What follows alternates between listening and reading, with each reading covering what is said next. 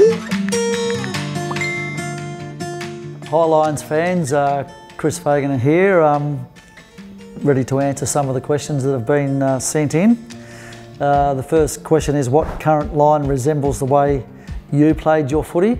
Um, this is quite a difficult question to answer because I was never good enough to play AFL football. So uh, uh, if I was to compare myself, I suppose I'm a, I'm a little bit of a cross between Hugh McCluggage and Dane Zorko. Uh, which is a pretty good play to be honest. I'm nowhere near that good, but I played on ball, got plenty of it, used it pretty well and uh, kicked quite a few goals in my career.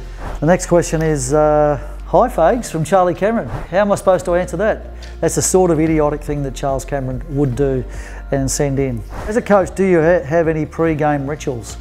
Um, I, I probably do. I'm not much different to uh, uh, a player in a sense. Um, I usually go out, my ritual starts on a, say the night before a game, I go out and have dinner with my wife Ursula um, and I continually look at the scores of other games on my phone while we're doing that, which annoys her a little bit.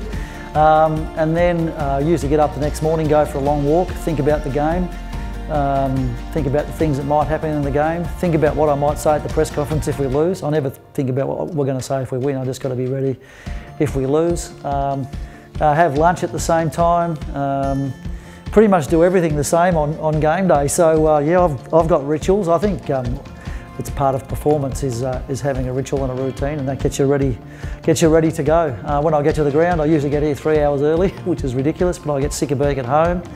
Uh, so I go to the ground, sit in the, in the coach's room and just go through my presentation uh, that I'm going to do before the game over and over and over and over again so that I've got it in my head. Um, and again, just look at the scores of the other games that might be going on. Um, and then eventually, once the players arrive, all the nerves go away and we're ready for battle. But that's, uh, that's pretty much game day for me. That's probably too long an answer. Can you give me a game, Fags? Cheers, Jimmy Tunstill. it's pretty cheeky by the young fella. He's been here five seconds. He's actually a good uh, young player and we think he's going to um, you know, progress through the ranks pretty well. But um, um, one day, Jimmy, you'll get a game when you've earned it.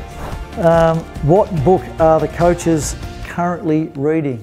Um, it's a very deceptive question.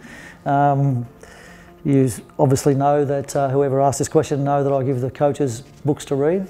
I think they actually hate me for it deep down. They, they smile and take it from me, but um, I'm not sure what they really think. But uh, this year's book is a book called Belonging by Owen Eastwood.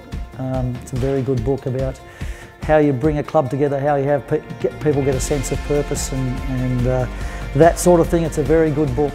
Um, we'll have a, probably have a chat about it in a couple of weeks' time, I reckon, with the coaches. And it'll be interesting to see when I start asking questions how many of them have actually read the book. Which player would have been the most difficult teenager if he was your son? I think the person who sent this question in would, would know what the obvious answer is, who that person would be. It is clearly Mitch Robinson.